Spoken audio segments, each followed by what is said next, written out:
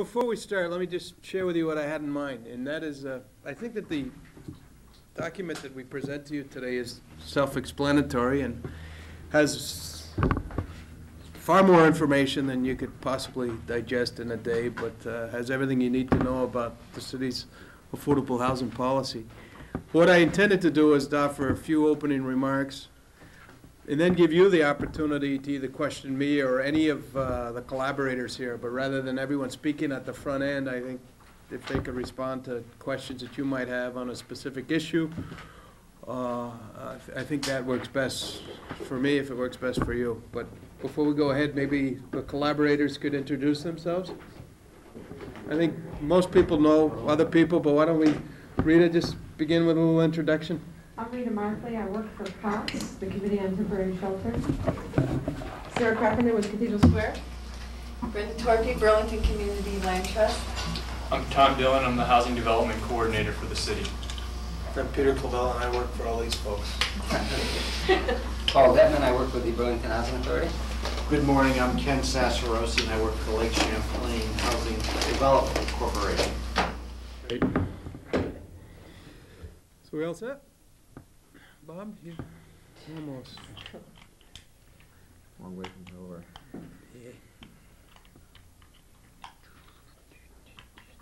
Around, square hole, okay. Great.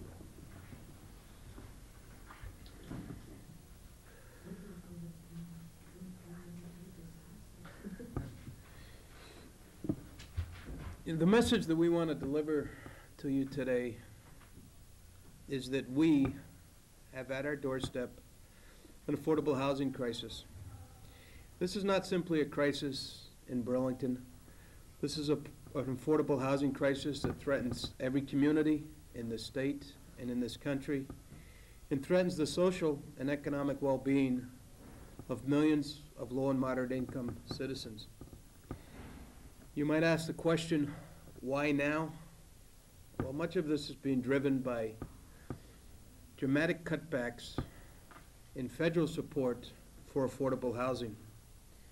Since 1979, housing programs have been cut by $656 billion.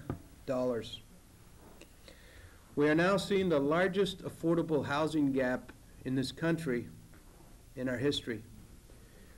20 years ago, there was more affordable housing available than people needing them. Today, and this varies from community to community, but on a na- national level today, there are two families in need of affordable, low-income housing units for every unit that's available. We're also seeing, as Rita could certainly attest to, any of us could, a dramatic increase in homelessness, not only in Burlington, but in cities across this country. So you couple this affordable housing crisis and the cutbacks in funding with welfare reform and with a global economy that's creating low-wage jobs and is making it more difficult for folks to pay the rent and secure a mortgage. And we have a serious problem. But before we go on to discuss that problem, let me also acknowledge that we have much to be proud of in the city of Burlington. Over the over the past 15 years, we've created in Burlington an affordable housing record that frankly few communities can match. In the city of Burlington today, there are more than 1,900 affordable housing units. But the message today is that many of those units and the people that live in them are at risk. And while we're proud of our accomplishments and will continue to be incredibly creative in the city in terms of, in terms of responding to the affordable housing crisis, we face an enormous challenge.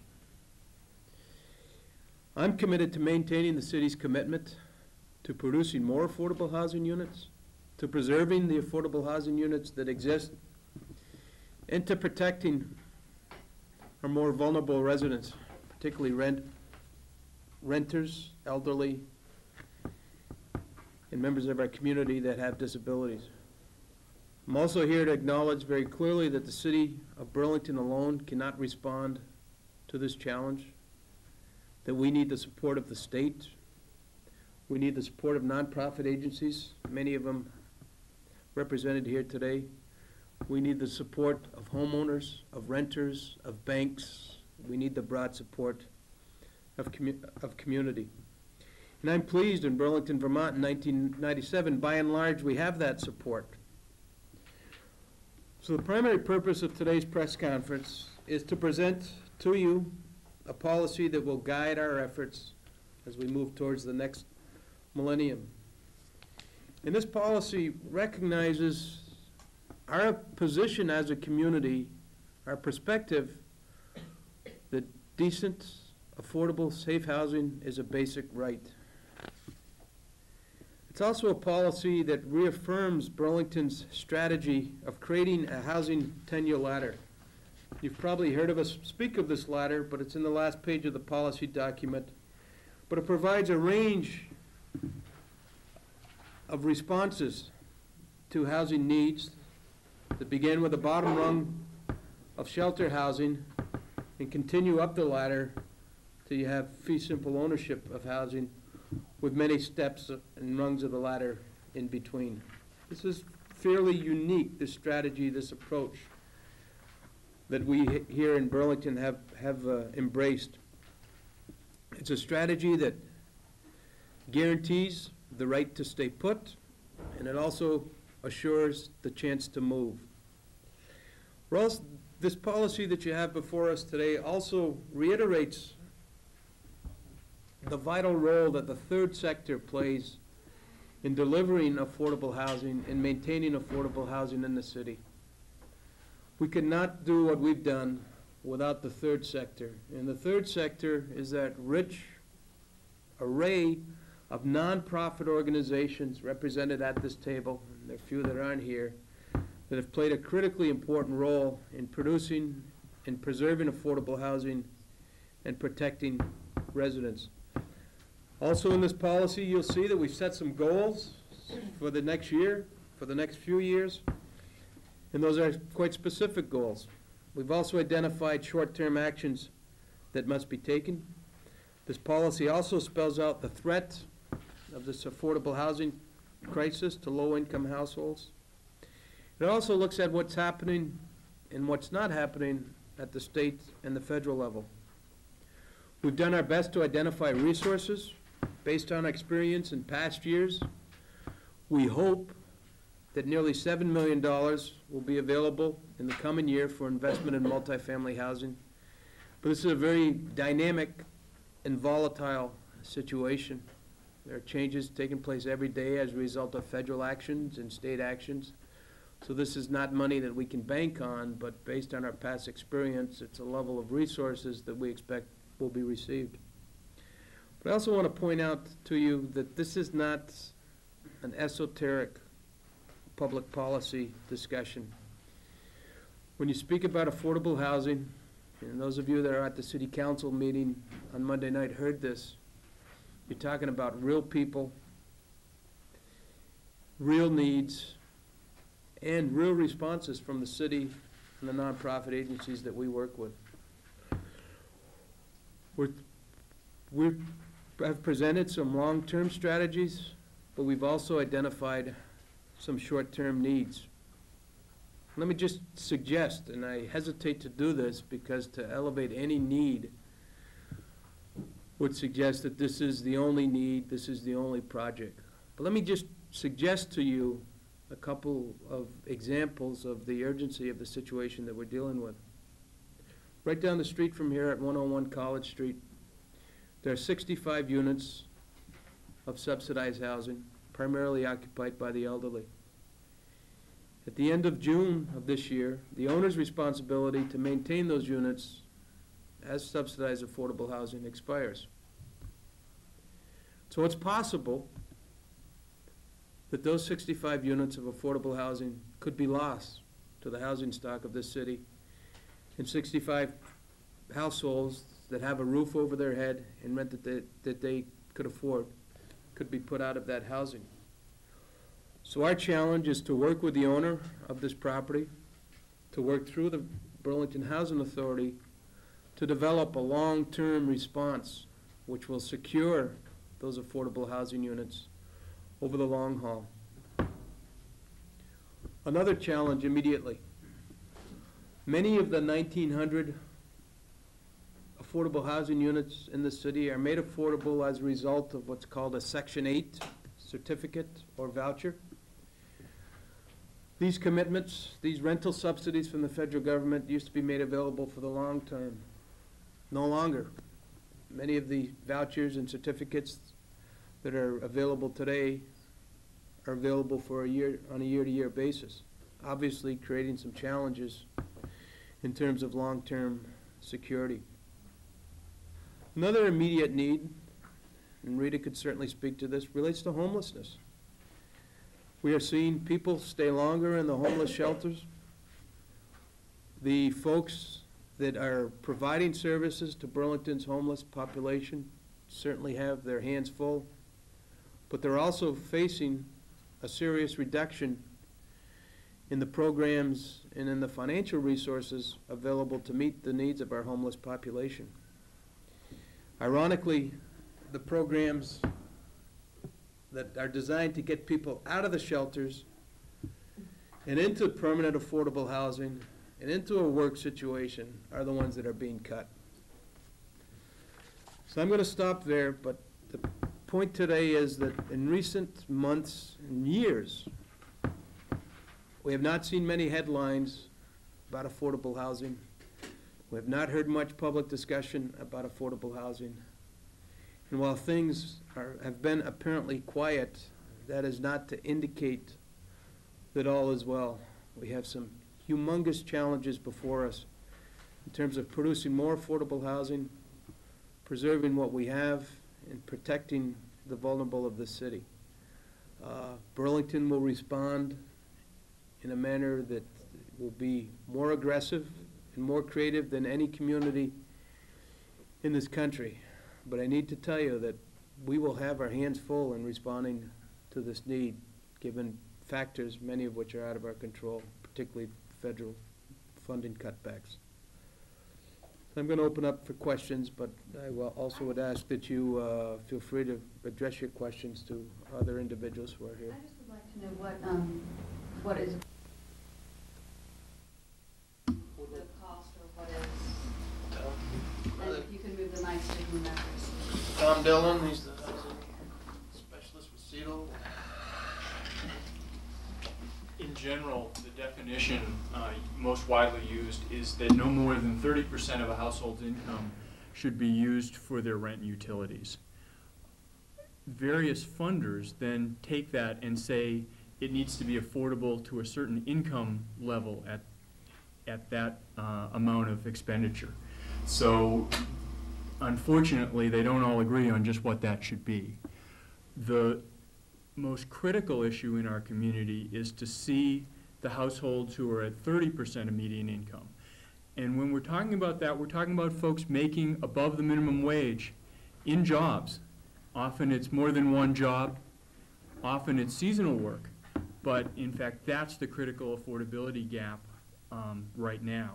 So- I'm trying to get some kind of number to be able, I mean, if someone makes ten thousand dollars a year, I guess if there's a way that we could, I, if you wanna stick with Yep. poverty level or above poverty level, whatever you feel is. Certainly, um, The, the, the problem with the question, right, I'm just saying, what kind of household, what kind of housing do we need in the city of Burlington to house the people who are here that need housing? What, what cost are we looking at? What kind of rent?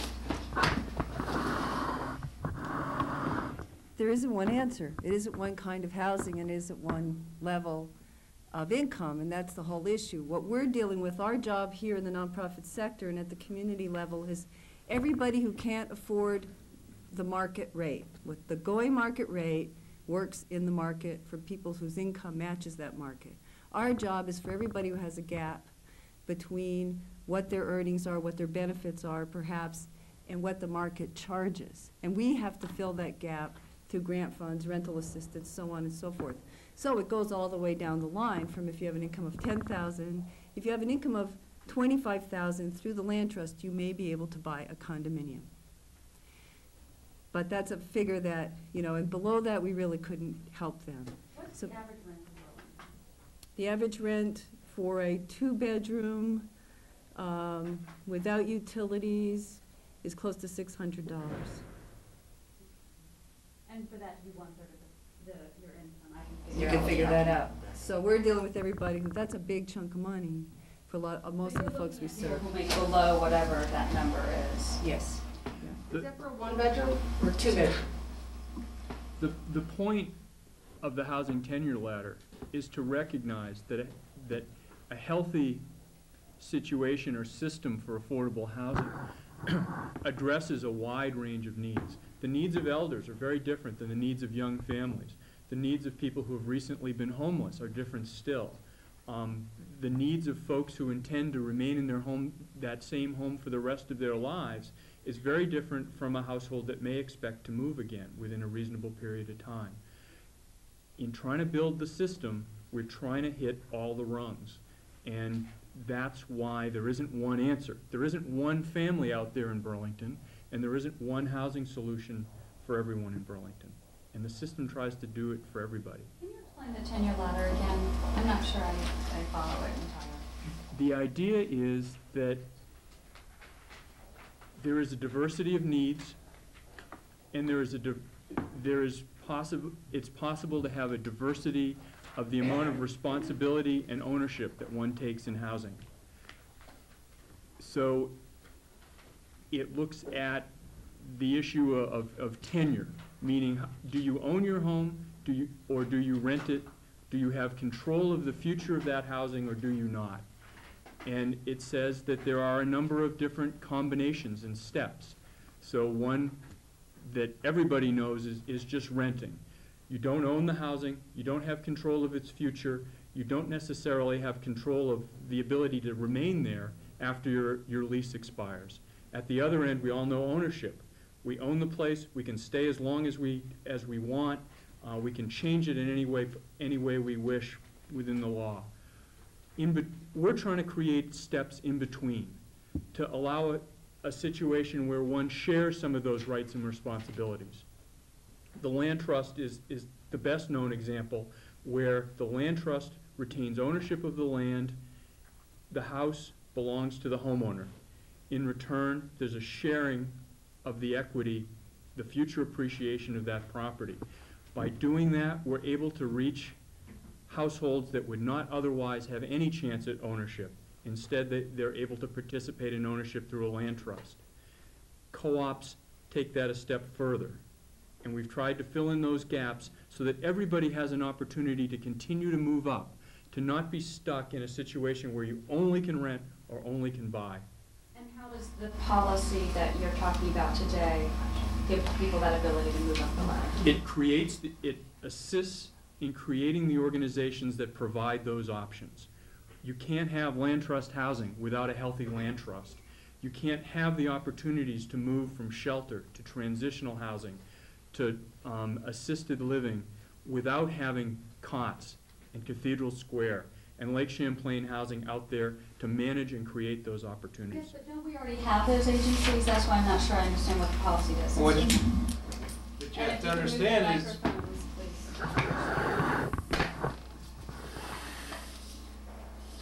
we have those agencies. What you need to understand is that the very existence of the agencies and the housing that they have been able to provide over the years is threatened by a variety of forces, most significantly, the dramatic cutbacks in federal funds. So the point here today is to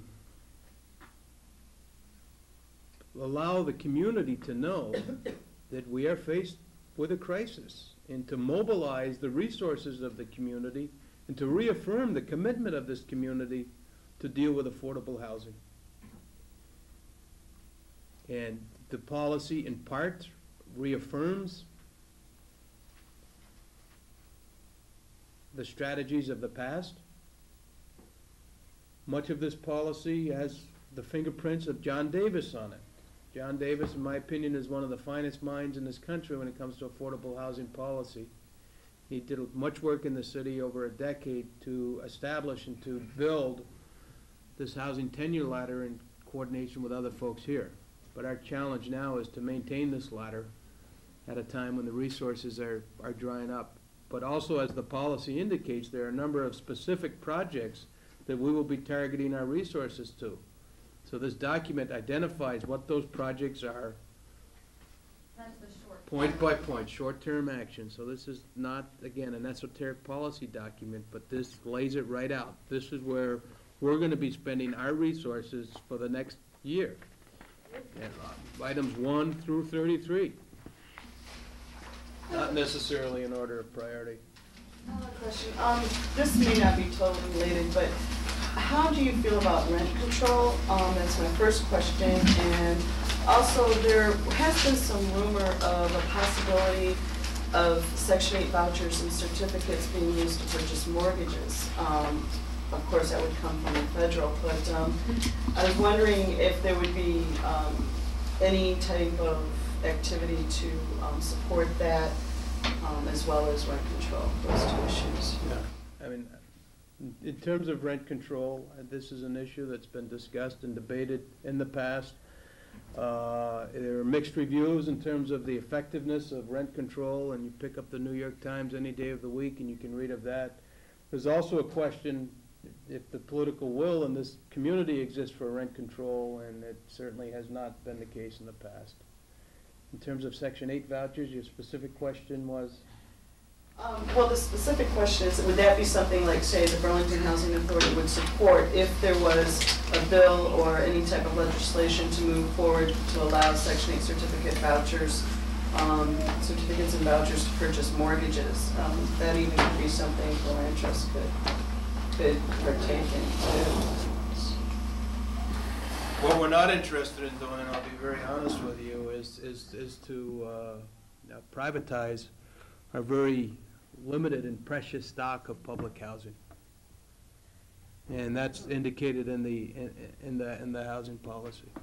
I don't, but that wouldn't privatize it, that they. I, I, I would, su- I'll let you finish this question, then I'll ask it, the purpose here is for a, a press conference, and those of you that are non-press members, if you'd like to have this discussion before or after, any time, fine, but if we could allow the press to raise their issues first before we lose them, uh, I'd appreciate that, but, Paul, do you want to speak to the, the specific question?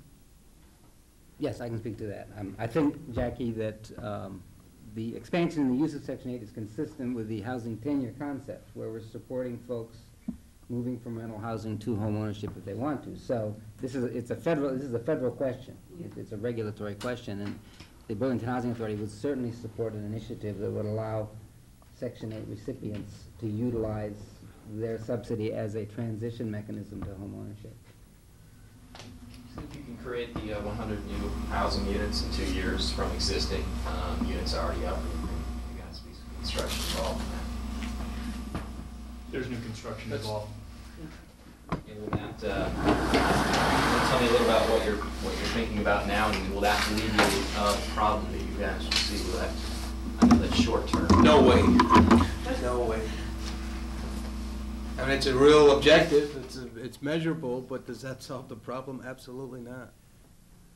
The way to think about it in terms of goals and short-term actions is, it's been decades that brought us to this point, and it will be many years of steady progress and building on a system that works, that solves the problem. Um, I think the hundred units is doable. I think that there are sites that are available within the city limits that um, will enable developers to participate in creating new family units, um, and that we're gonna go for it. All right, the goals and the objectives that we lay out here are, are feasible, absolutely. I mean, they're, they will be incredibly challenging, but they are feasible. Let me make another point that I did not address in my remarks, but I don't want to miss the opportunity to do so. And that is that Burlington alone cannot address this region's affordable housing shortage. And that there are communities in this region that have people that need affordable housing that have not accepted the responsibility of providing affordable housing.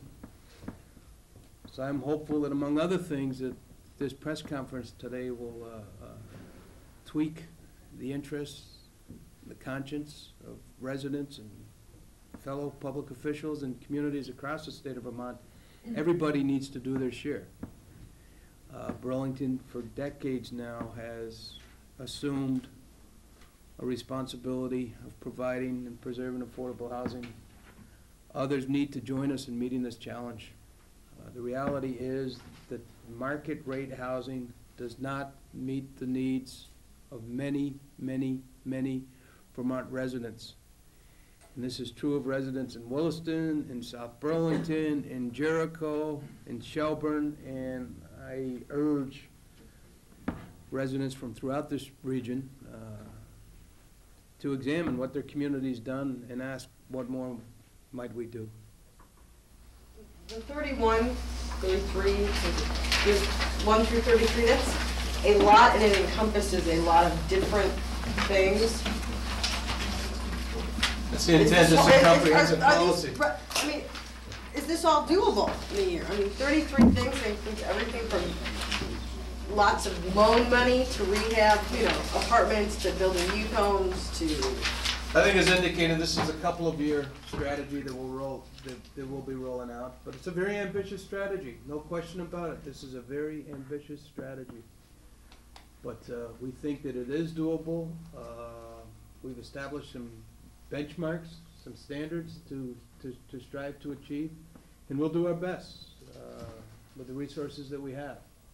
And we'll be chasing down every resource at both the state and the federal level to make this happen suffice it to say, this is not gonna happen if it's dependent upon property tax dollars to support it. We need help from the feds, from the state, from our local financial institutions. how does this affect people who are renters who are not on subsidized housing? I mean, or is it just for people who, you know, I mean, housing's expensive, you know, for me, and I'm not on any sort of subsidy or anything like that. I mean, is it, uh, is it kind of a trickle-down effect?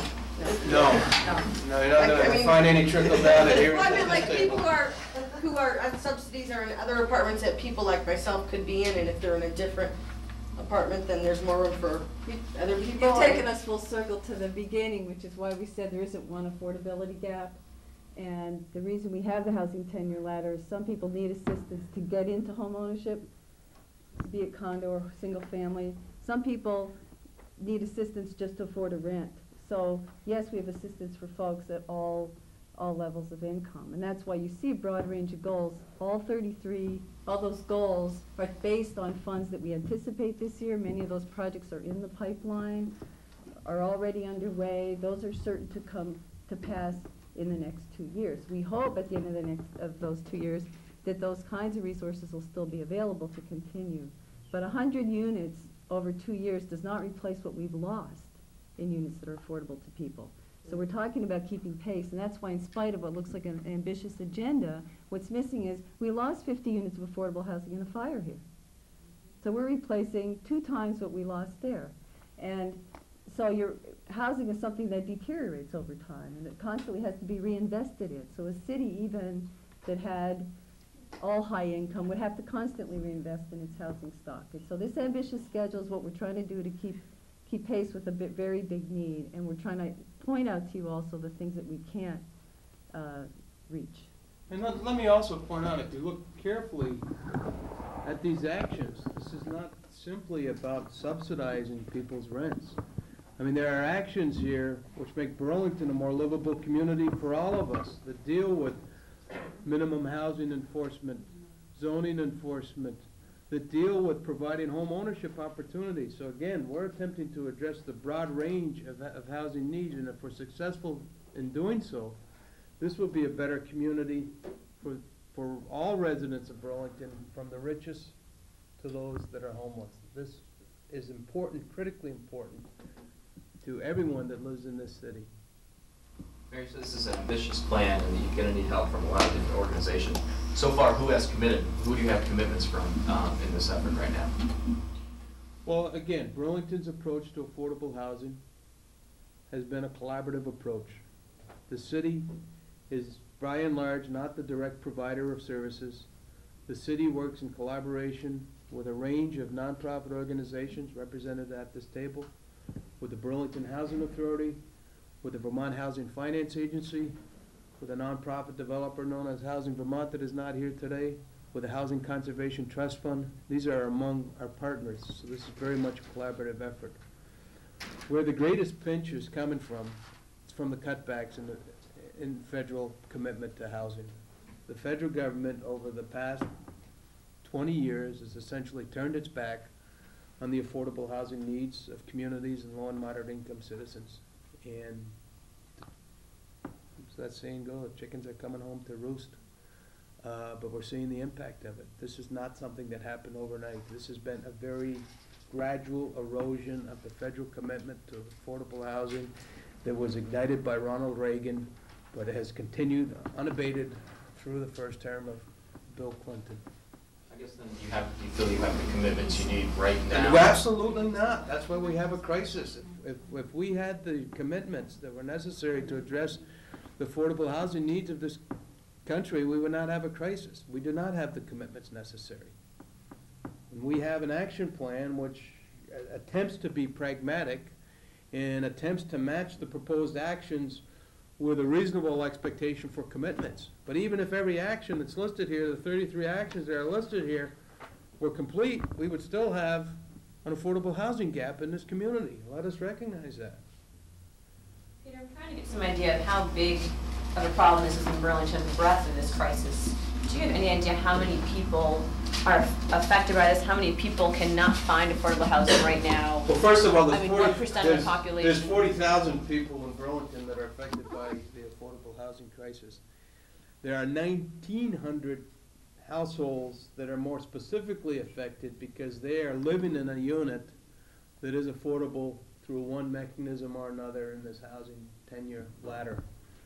Uh, But there are also many people who are waiting for an affordable housing support. Uh, Folks could talk to the waiting list. Well, as an indicator, with the Burlington Housing Authority, which is only one of many waiting lists for affordable housing, for the Section 8 program, the waiting list now is approximately 1,200 households. I'm sorry, how many? 1,200. What's the average wait? Um, Five years? It It varies to some degree. That's the tricky part. So when, when could number twelve hundred on the list, uh, Five years. expect to? Hmm? Yeah. What about some of the other Possibly. agencies? What are some other waiting lists? Rita, speak to the, uh, the pressure at the homeless shelters. Um, We've had a dramatic increase in the number of homeless families on our waiting list.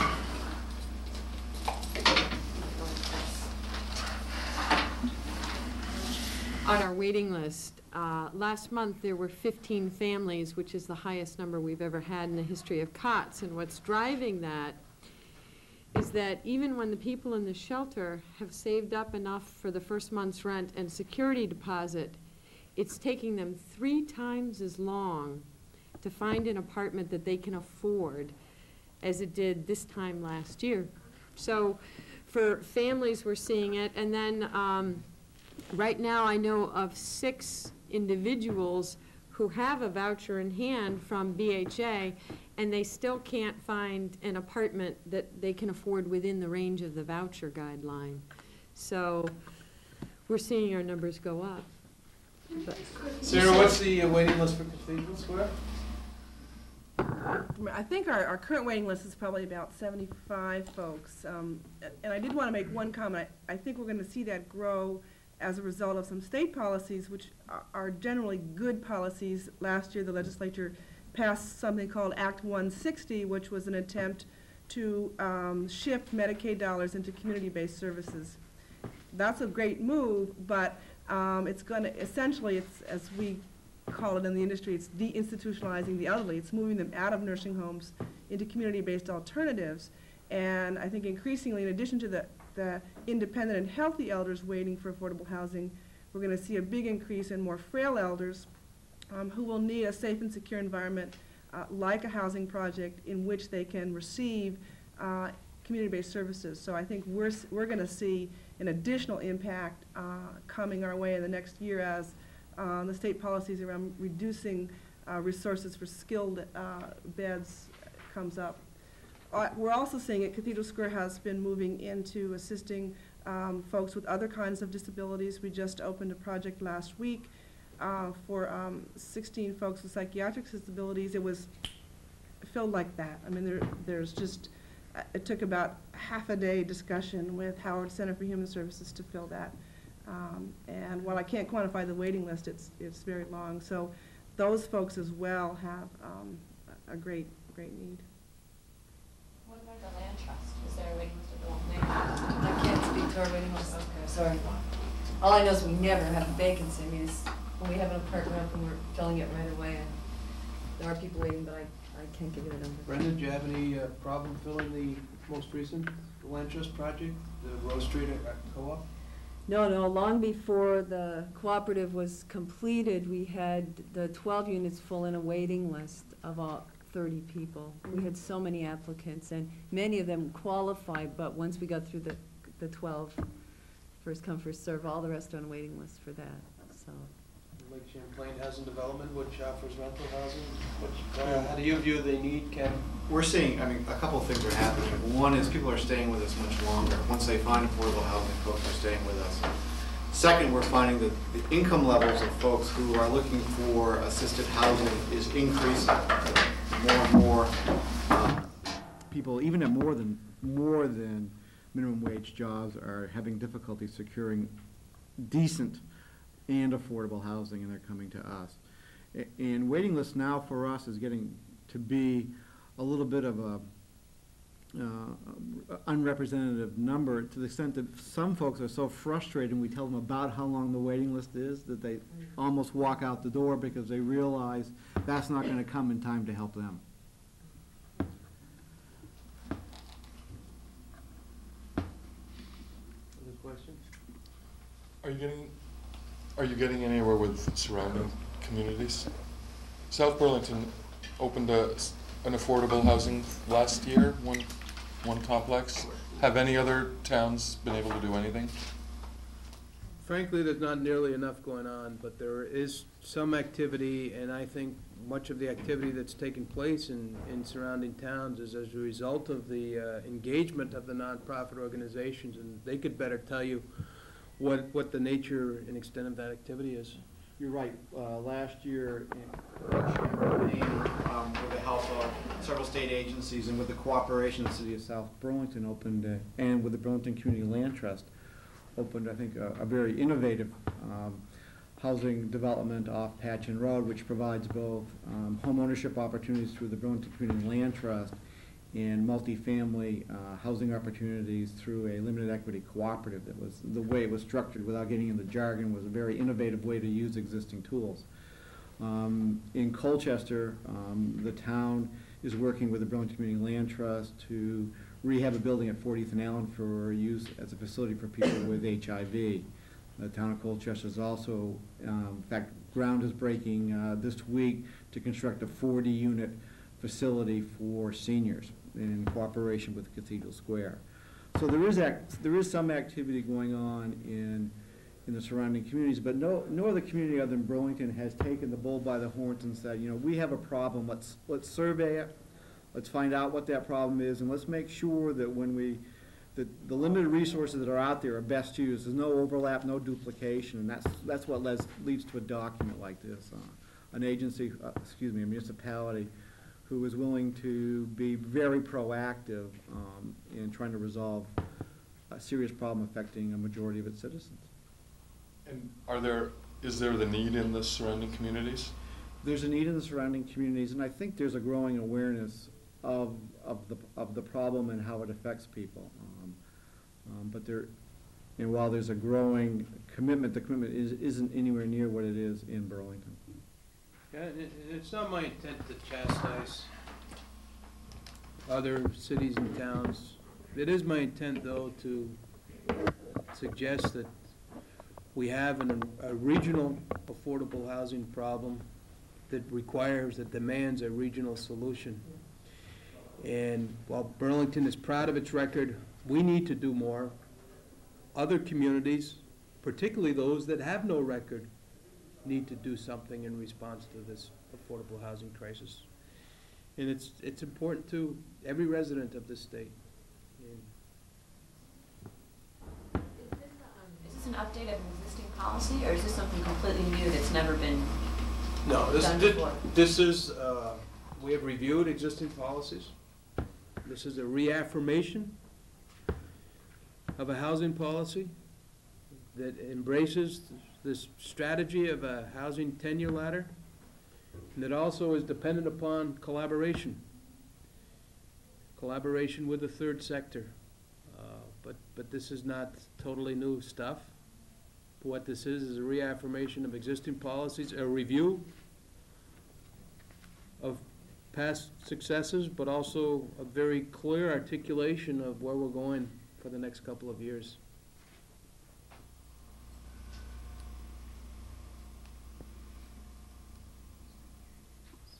Okay, thank you all.